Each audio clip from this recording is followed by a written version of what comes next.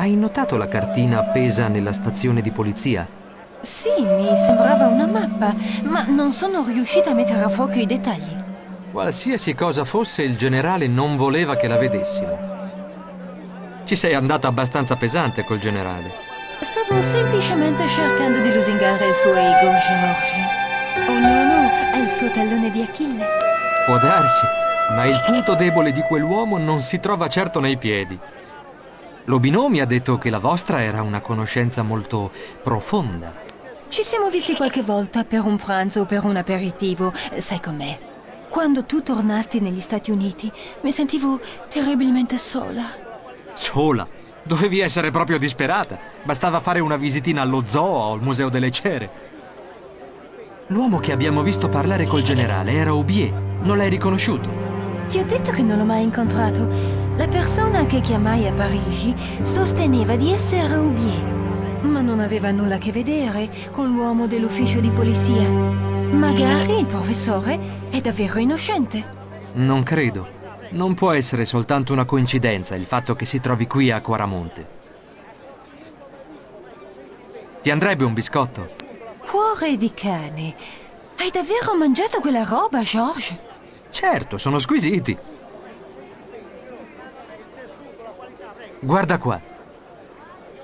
Santo cielo, dove hai preso tutti quei soldi? Non è mio. Ho trovato questo estratto conto a casa di Ubier.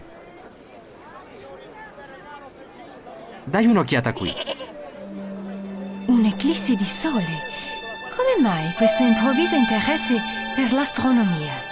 Ho trovato questo ritaglio a casa di Ubier. Pare che la si possa vedere solo dall'America centrale.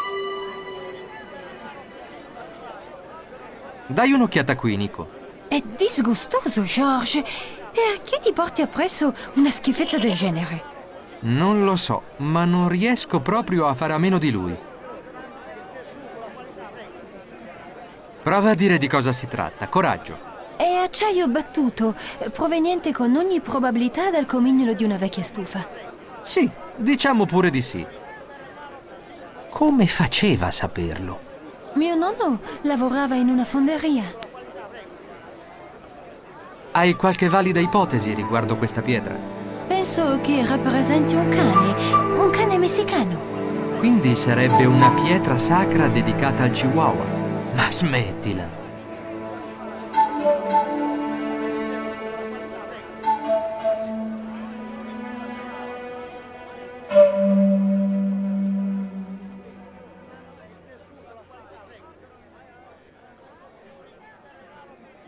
Professor Rubier?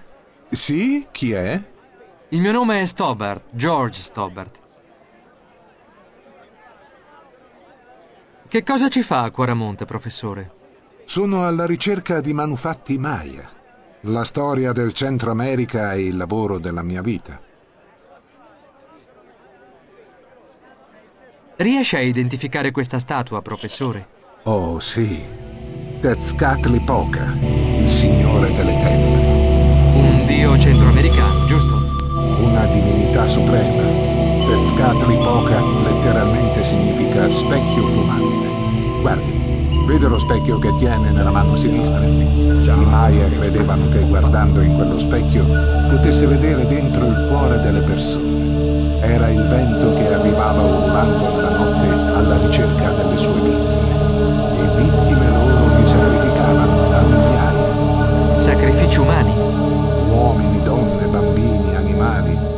qualsiasi cosa sanguinasse.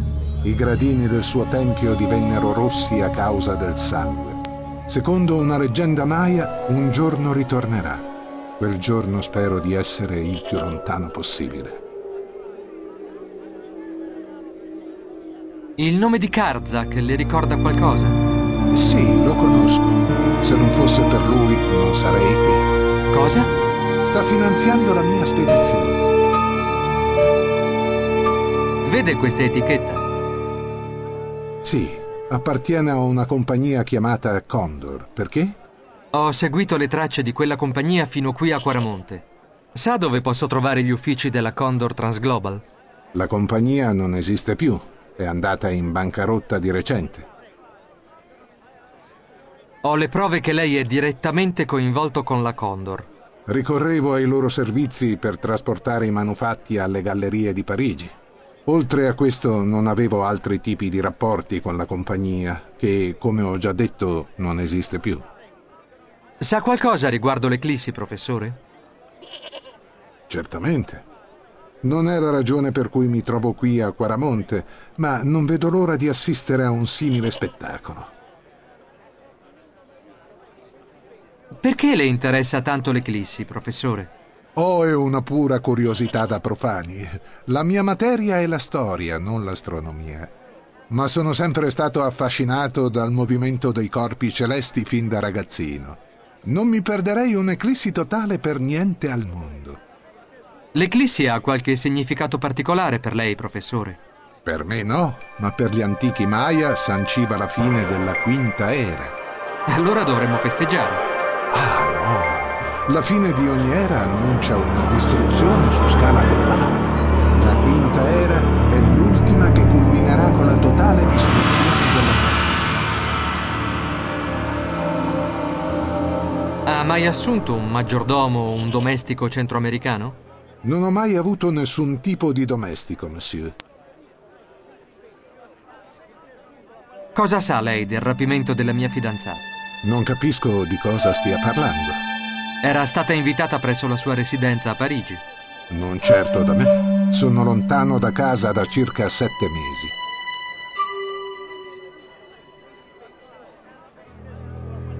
Mi sa dire qualcosa circa questa pietra? Dove l'ha presa? È un problema mio. Quanto vuole per cederla? Non è in vendita.